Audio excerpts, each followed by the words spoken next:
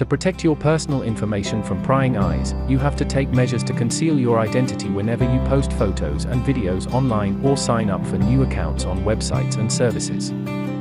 AI Face Blur in Video, a new feature of Video Enhancer AI, is one such measure that will come in handy if you want to keep your identity private. Let's see how to do that. Download AVCLabs Video Enhancer AI to your PC and launch it.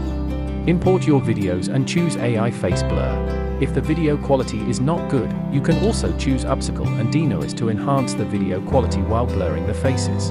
And here you set the blur model. Set the post-process parameters in video settings part as you like.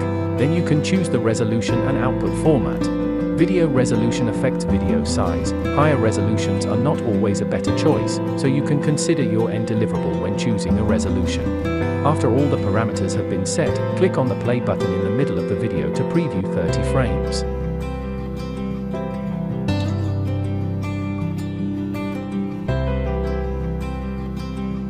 If you don't want to blur the whole video, of course you can just take a clip. You can trim your footages frame by frame.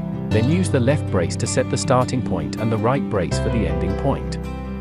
Or you can select an enhanced clip by entering the exact start time. Then click on Start Processing.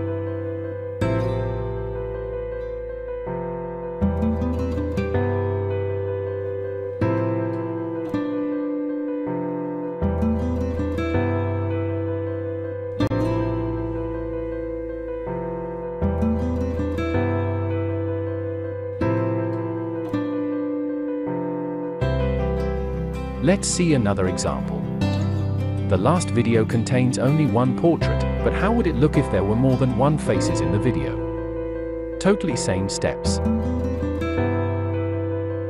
Now let's take a look at the final result.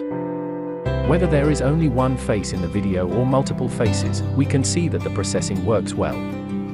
Okay, that's all for the video. Hope you find this helpful. Thanks for watching and see you next time.